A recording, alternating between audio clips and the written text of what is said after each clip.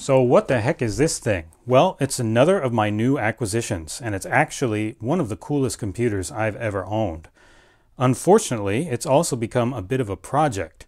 So while I work on some other scripted videos, I thought I'd just take a minute here to give you a little tour of this machine, show you what it's doing, and maybe even ask for a little bit of your advice. So let's take a look. So not to draw out the suspense here, this is an IBM P70 luggable computer. These things are super cool. Unfortunately, this one has turned into a little bit of a project.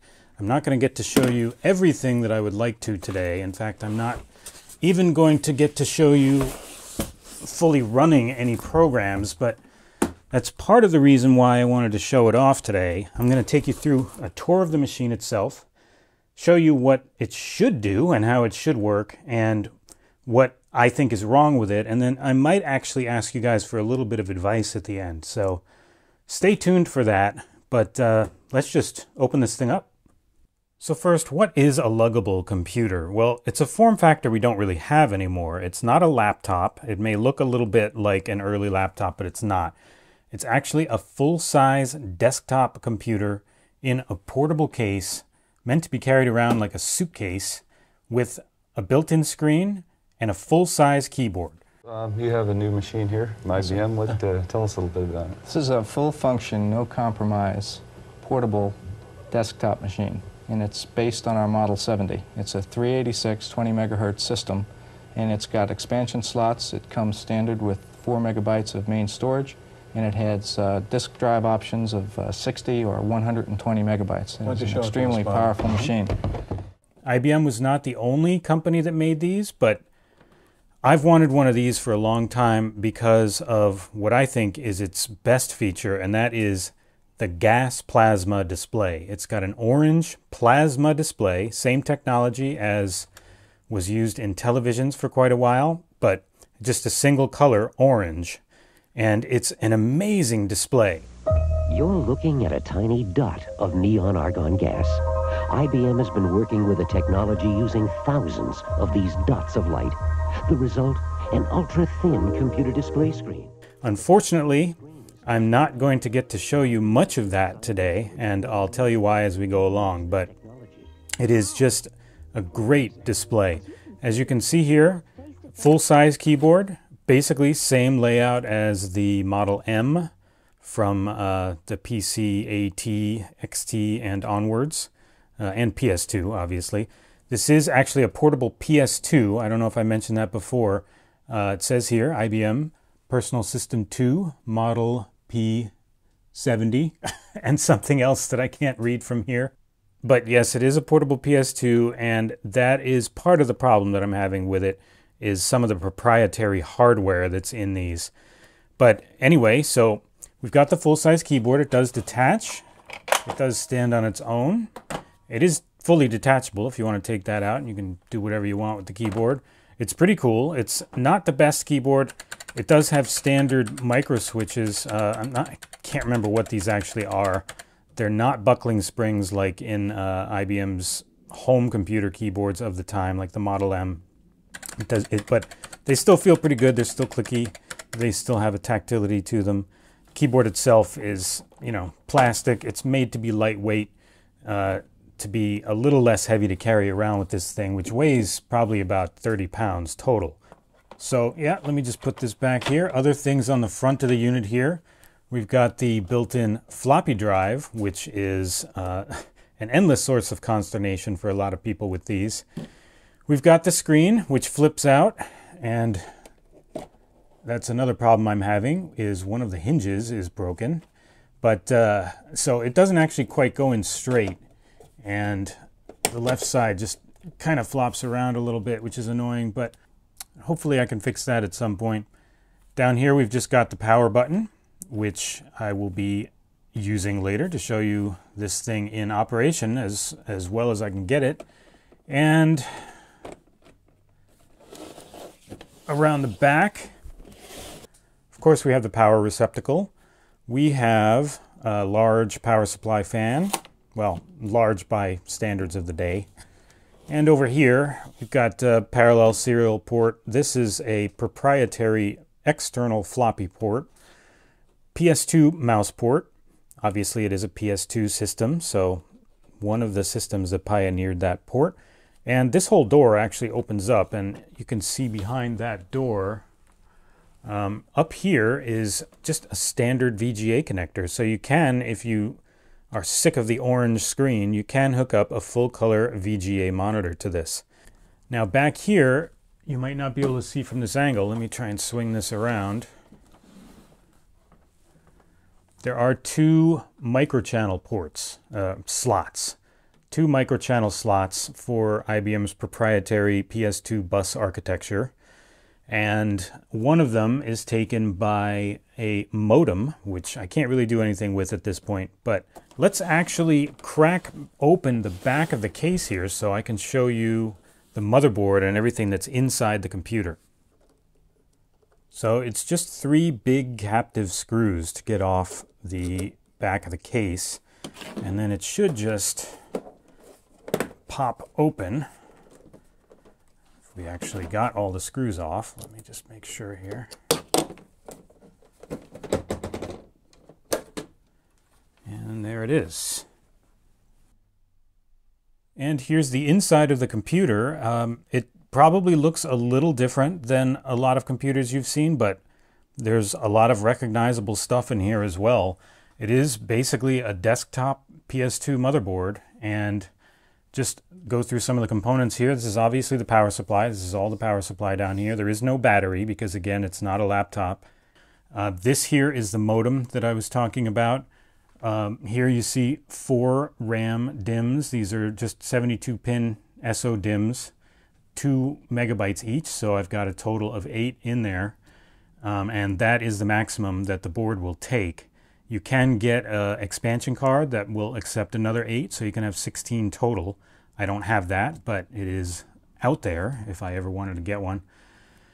On the motherboard, which is under everything here, actually, this here, before I get to that, is basically the graphics card up here, this whole thing. And uh, yeah, I, I don't think there's a different one that you can get. I think this is it. It's basically a VGA card uh, early VGA card, but it'll do CGA and EGA as well if you have that kind of monitor. Down here on the board, under the modem here, is a 386 DX20. It's a 20 megahertz chip. These are also available in 16 megahertz. This is the 20 megahertz. As happened with my 5150, I kind of lucked out a little bit with this machine and got one that was basically maxed out, uh, at least as far as what's available on the board. And I even got the 387 math coprocessor with it. So that's pretty cool.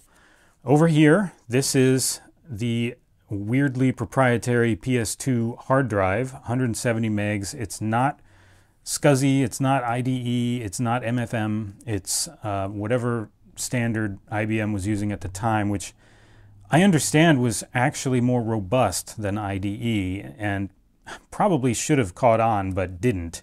And most likely that's due to some sort of licensing fee, but I don't really know the story. But anyway, that's pretty much all the major components in here. It's all the same stuff you'd expect to see on any other board, uh, just arranged a little differently, maybe. So anyway, let's pack this back up and I'll fire it up for you and show you what it's doing right now. Okay, so I'm about to fire it up here and I'm just going to shut up and let you hear the startup as much as possible through my microphone.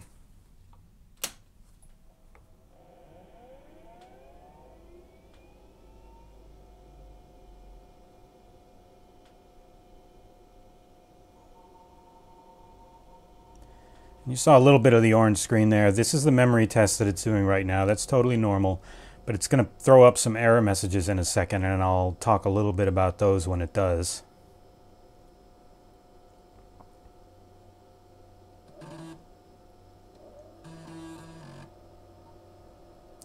Okay, so error 201 and 164. We've got 7808 KB OK in the memory test.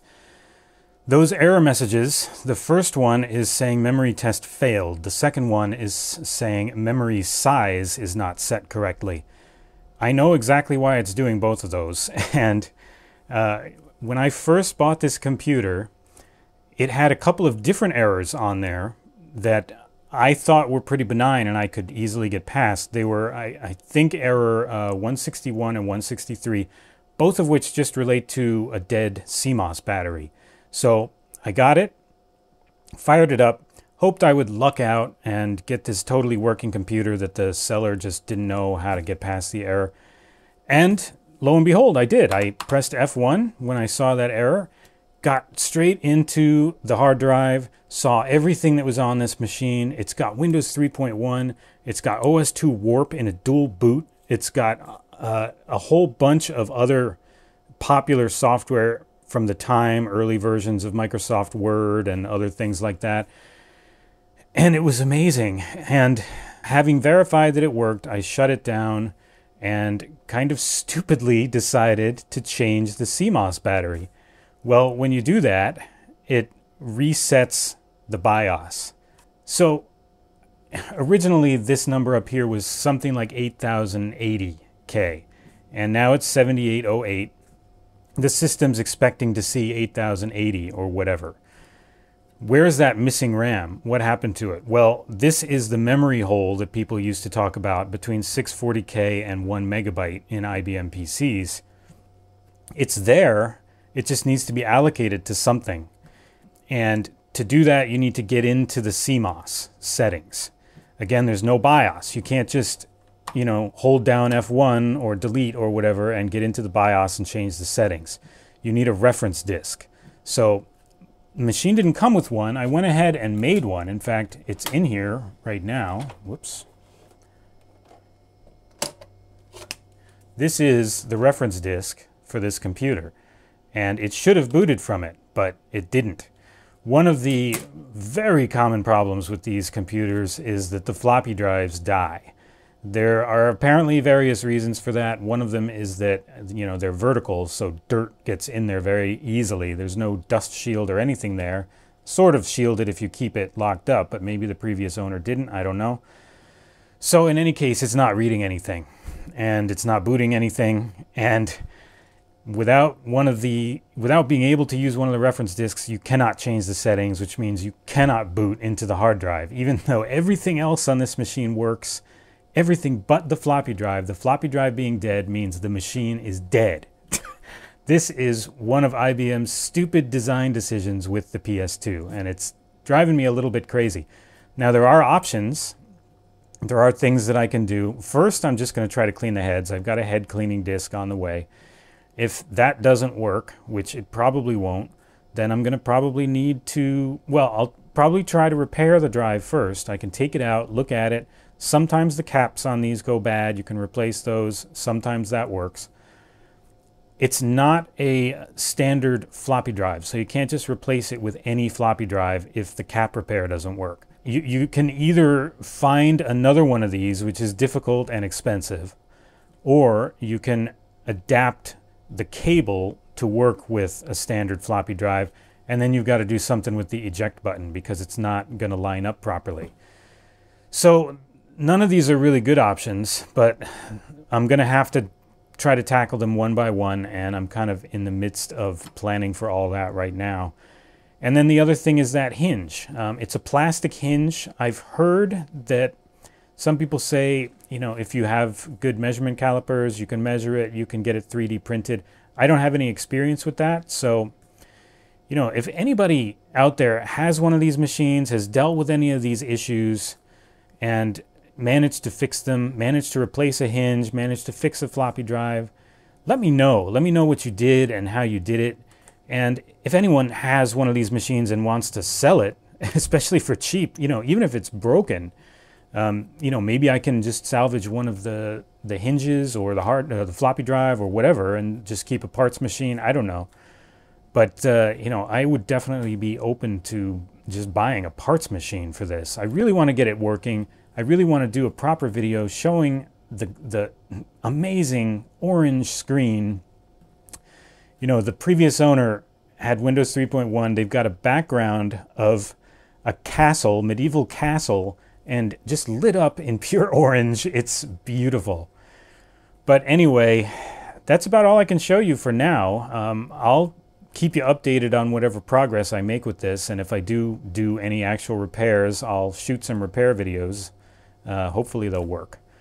But that's about it for now. I do have some scripted videos coming up, so look forward to those, and I will see you guys next time. Bye-bye.